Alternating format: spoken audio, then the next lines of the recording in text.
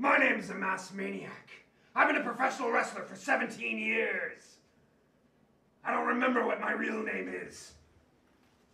My name's Frank.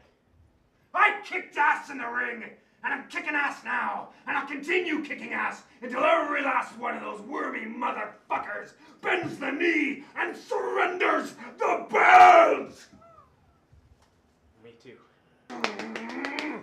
Who are you? Masked Maniac! Who are you? Masked Maniac! Who am I? Frank!